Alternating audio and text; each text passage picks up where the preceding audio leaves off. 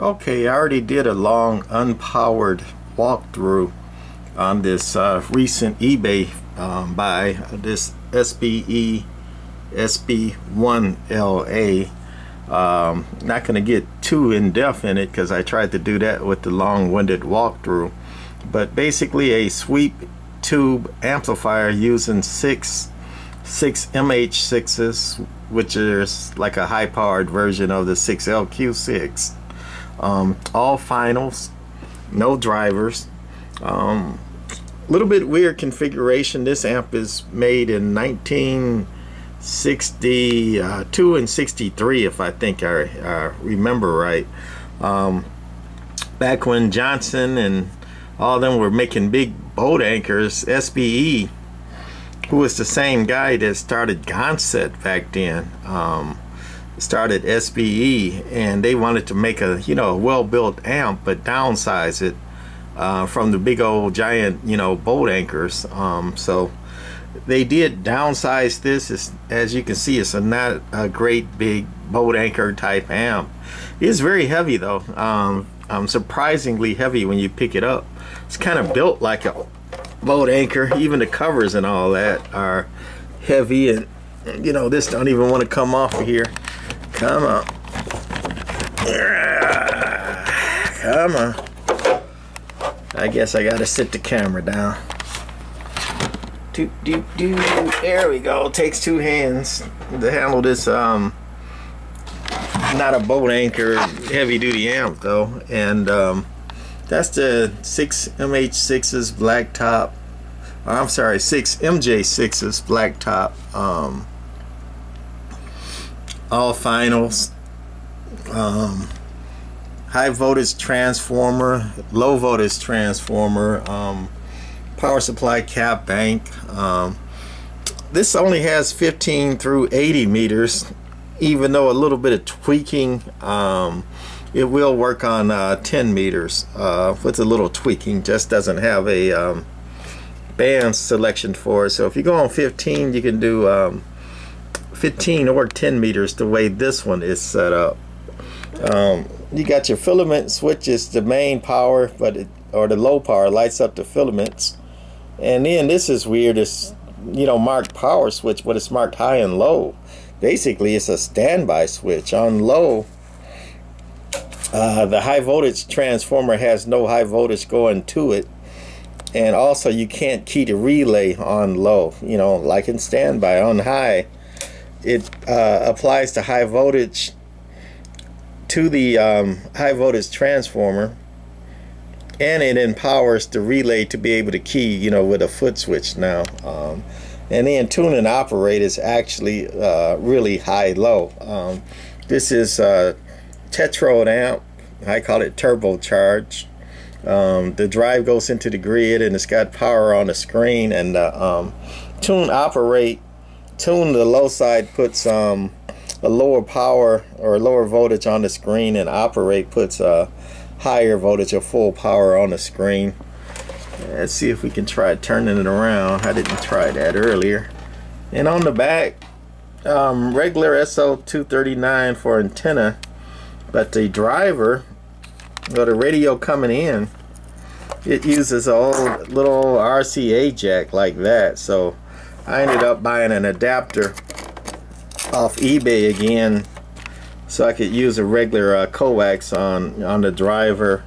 The power plug is a 9 pin octal fuse to bias uh, takes this thing from really high to really low. So you can you know use this as a um, uh, really swinging amp you know uh, class C or you can go to um, deep class AB uh, with it by adjusting the bias on it. And then that there is another RCA jack and that's not factory.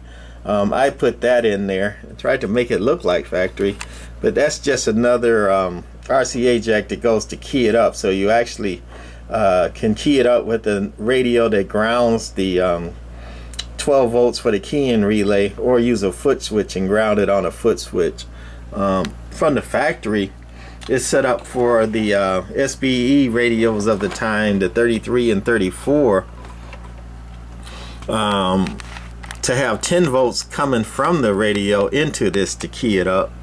Uh, but most modern uh, radios and and transceivers uh, don't do that. They ground it now. So I did a little bit of rewiring um, to make it so you ground the uh, keying circuit. And I also took off the dangerous 120 volts uh, which this also ran that was keyed the negative 120 for the bias. I did that so a relay uh, grounds that bias so no dangerous 100 and negative 120 coming out of it. So that's about it. I guess enough talking. I think we're plugged in so we're gonna let that warm up a little bit um, Another funny thing that I didn't mention in a long-winded video, this amp has no fan. You know, it's got a, a baffled opening at the bottom cover and baffles on the top, so I guess it does get some um, air circulation, but no fan. It probably could benefit from, you know, somebody putting a uh, external fan underneath or on top to get some more airflow. However, with the bias, and if you adjust it right and you don't try to kill this little thing, um, it runs fairly cool for a six sweep tube um, linear amplifier. Um, one other thing, um, on that long-winded thing I was talking about the high voltage transformer, it's a dual winding and they use dual voltage doublers for it. And it's like why do they do that? Uh, my best guesstimate is um because this is a uh, well built amp. I don't think it was cost on this one. I think it was size and weight. If you go to a um, uh, full wave transformer it's got to be bigger because it's going to be um, um, more volts and the more volts you wind on the transformer the bigger it's got to be because you got more more and more windings on it.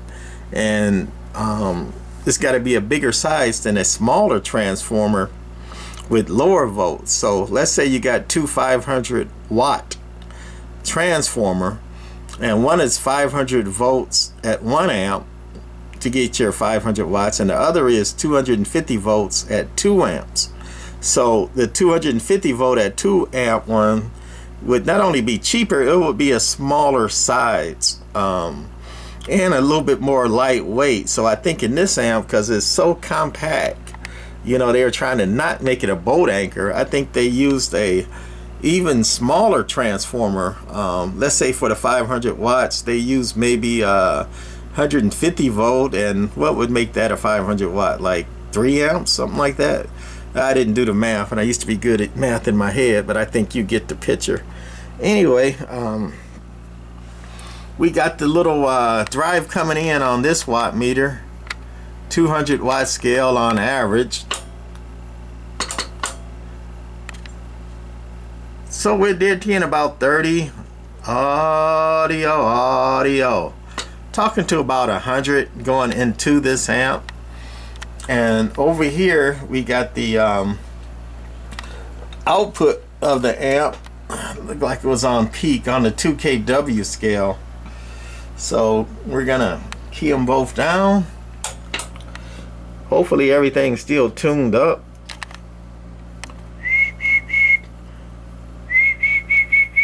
Audio audio. Audio audio it's talking about four. Actually, I had it tuned up to about five. Audio, audio. About to 450 now. Probably could tweak it and get a few more watts, you know, with the cover on and off and moving it around and stuff. Uh, but anyway, on peak. Audio, audio, audio, audio, audio. About 750 audio audio. And about 75 RMS going into it now. Audio audio audio. Another little quirk about this amp though before I let it go um, it uses a bank of resistors on the input. It's not really a tuned input. It swamps the um, input re resistors. And that kind of works but it's not ideal um, you know for harmonics and the load changing and all that ideal would be to have a uh, tuned input. But anyway um, because it swamps uses swamping resistors on the input transistor um, drivers or radios or transceivers don't really like that. Uh, going into a tube amplifier with just swamping resistors on it um, tube using a tube um, driver or a tube transceiver they would handle that a lot better with a tube going into a tube with that swamping uh, network instead of a tune input. So that's one thing I don't like about it. But I kind of like this little amp a lot. It's cute. It's small uh, even though it's heavy uh, it's clean. It doesn't run the voltage you know super high uh, and make it dirty. Um, it's got the swamping resistors on the input instead of tune but it, at least it's got something. You know some amps don't have anything on the input. So you know I like this amp. You know it got the Vario in the back and um, it's um, pretty. Um, so I think I'm gonna hold on to this bad boy unless somebody makes me an offer I can't refuse. Little basically a 500 watt RMS no driver um, high drive um, SBE from the same one that make the uh, later they went from amateur radio to made um, CB radios um, all about the money, right? Um, and then they went out of business. But SBE made some premium CB radios during the time when they went out, and I think this is a um, um, a pretty premium um, linear amplifier, especially for a sweep tube amplifier. You aren't going to find too many sweep tube amplifiers like clean like this or made like this. Even some am ham amplifiers like uh, Dentron and um, who is that? Amp Supply, I think. You know, uh, quite a few made a few four sweep tube amplifiers. You know, around this size, but they I don't think they were made like this. So I kind of like this guy. Anyway, that's gonna be it for this SBE SB1 LA amplifier. Bye.